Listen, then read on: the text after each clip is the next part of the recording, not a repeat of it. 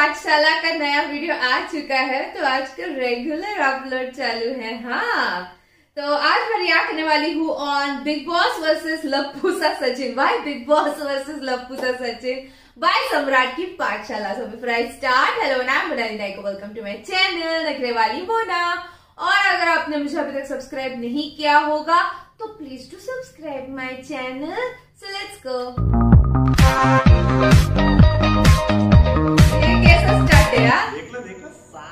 जय भद्रकाली सरकार। जय भद्रकाली। तो क्या हाल है? आज ना तुम्हारे भाई के पास भर भर के माल है। लेकिन दिक्कत ये आ रही है कि साला शुरू कहाँ से करूँ? कोई ना बिग बॉस से ही शुरू करते हैं। तो congratulation to Elvish Yadav Bigg Boss जीतने के लिए। The winner, Abhishek, is Elvish!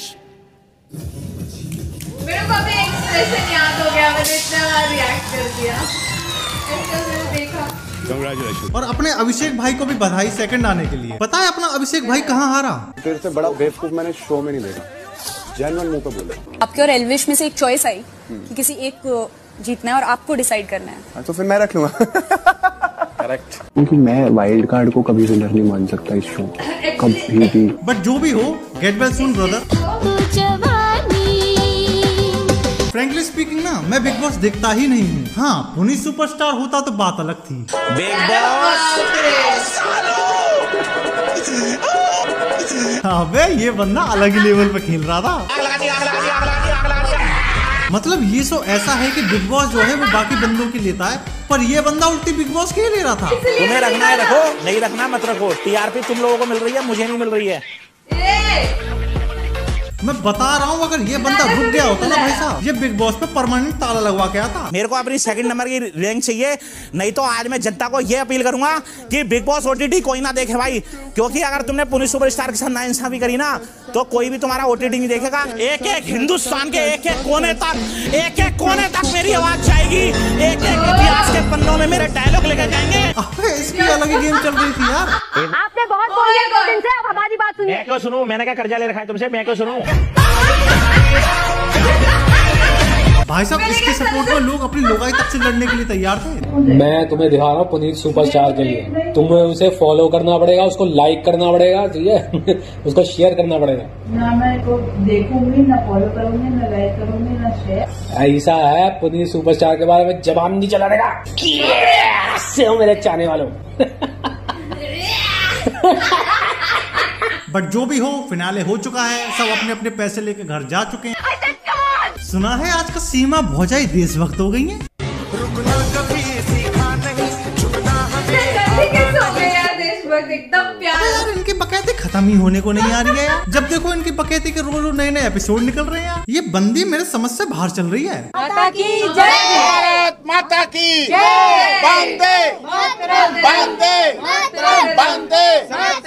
देखो जब तक हिंदुस्तान जिंदाबाद के नारे लग रहे थे तब तक सब कुछ ठीक था। पर ये क्या बकचोदी है? पाकिस्तान मुर्दाबाद। पाकिस्तान। रे।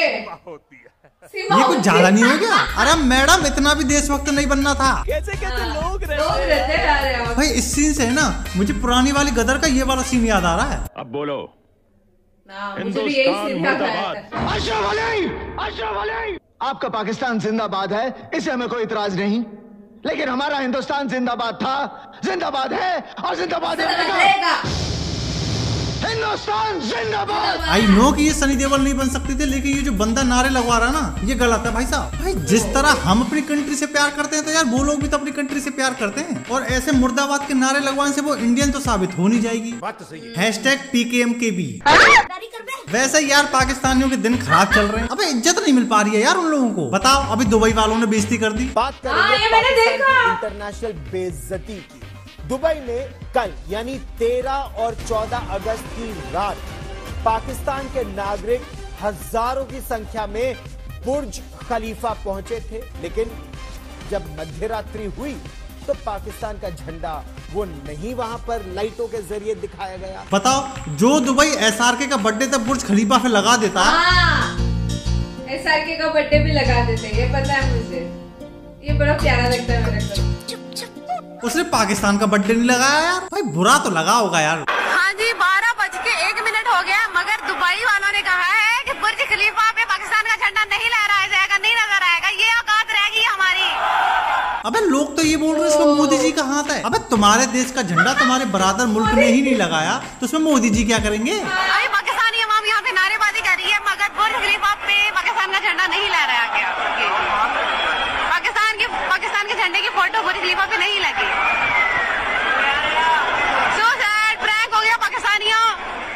जिस तरह तुम लोग के साथ तुम लोग की कमेंट कर रही है यही तुम लोग के साथ होना चाहिए। कोई बात ना तुम दिल छोटा मत करो तुम इंडिया का झंडा देखो। मुझे पता है खुशी तो नहीं मिलेगी पर तुम देख लो।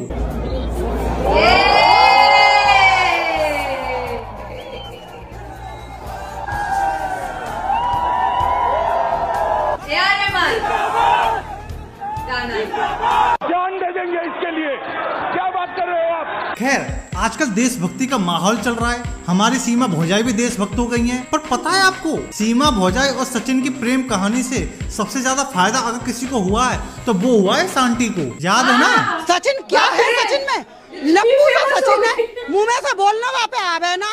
बोलता वो है ना झिंगुर सा लड़का उससे प्यार। भाई साहब जब से इस आंटी ने सचिन को लप्पू बनाया ना देश के सारे सचिन घर के अंदर जाके बैठ गए। पहले दुनिया सचिन का नाम कुछ इस प्रकार लेती थी।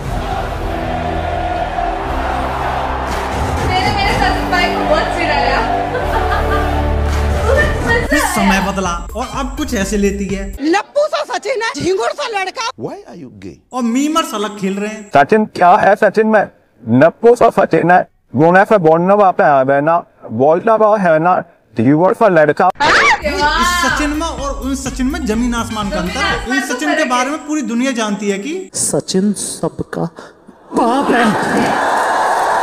पर ये वाला डायलॉग मार के ना आंटी ने खूबसूरत बटोर ली अबे, आंटी का लुक चेंज हो गया यार। बोलना उस पर आवे ना। मैंने भी देखा पहला वाला बोलने की कोशिश करता है तो सीमा उसका हाथ खींच देती है कभी उसका मुँह खींच देती है। पॉपुलर होते ही देखो आंटी कैसे बदल गई। अब हर जगह बस इसी बात की चर्चा है कि सचिन लप्पू सा क्यों है? फिर आपने लप्पू सा सचिन बोला क्यों? नॉर्मल की बात है आदमी तो होना चाहिए। वो कीड़ा सा तो लड़का है सा। जरा तेज हवा चल गई ना तो पता नहीं कितनी दूर जाके पड़ेगा। भाई इस आंटी के पति को देखने के बाद ना मुझे सचिन भी स्मार्ट लगने लगा। सा लगा सुन के लप्पू सा सचिन झिंगूर सा लड़का। ये बोला आपकी पत्नी ने। हाँ कहते दी आपसे अपनी अपनी समझ है अपने अपने विचार बार सुनो। ना उदा उदा देखना। अबे भावनाओं में बह के बोल दिया था उन्होंने ये डालो उन्हें क्या पता था कि सत्रह ये डायलॉग कितना वायरल हो जाएगा। अबे गाने बन गए यार इस डायलॉग पे। ऐसा क्या है सचिन? अच्छा झिंगुर सा लड़का। क्या है सचिन? आज के वक्त इंडिया में दो नाम वाले सबसे ज़्यादा बदनाम हो चुके हैं। पहले हमारे सचिन भाई साहब उनकी गिनती तो अब लप्पुओं में होने लगी। दूसरे हमारे महेश भाई साहब। महेश दल्ले! इंडिया में मुझे छोड़ के कुछ भी वायरल हो सकता है भाई साहब। अबे वायरल से मुझे याद आया गदर टू फ़िल्म रिलीज़ हो गई यार। याद आया मतलब आज भी लोगों के अंदर गदर फ़िल्म का इतना क्रेज अगर यहाँ के लोगों को दोबारा मौका मिले ना हिंदुस्तान में बसने का तो आधे से ज़्यादा पाकिस्तान खाली हो जाएगा। अबे ट्रैक्टर में भर भर के लोग आ रहे हैं यार मूवी देखने के लिए।